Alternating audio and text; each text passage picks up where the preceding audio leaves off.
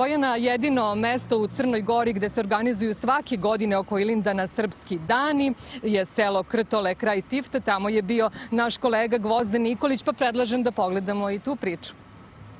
Pa mi Srbiju gledamo i danas koji uvijek, ali, ali svakako vidimo, svjesni smo da je mnogo, mnogo boljem položaju nego ranijih godina, u mnogo boljem, evo, ko, ko prati više, ko manje, mi smo nekako opredijeljeni da pratimo i stanje, se bavimo i na lokalnom nivou politikom, pa pratimo na neki način malo i politiku države Srbije.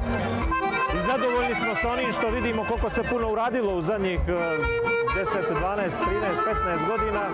Tako da smo ponosni na ono što se dešava u Srbiju i činjenice, i činjenice su i brojke pokazuju da, da smo takvi da trebamo da budemo, da trebamo da budemo optimistični za budućnost. Koga biste voljeli da vidite u Srbiji ovdje? Pa znate kako, evo, evo što se kaže sa predsjednikom Srbije voljeli bismo da ga vidimo da dođe jer imamo informaciju da je raniji prije već sad i poduže godina bio na ovim prostorima, baš je obilazio ova, ova, ovo područje, tako da bi voljeli sad kao predsjednika Srbije da ga vidimo da dođe kod nas, pa može i na taj deseti tradicionalni srpski sabor da bude kod nas možda i da ga otvori.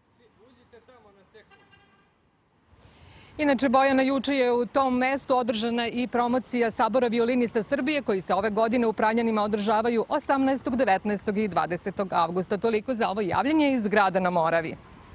Hvala ti, Milena.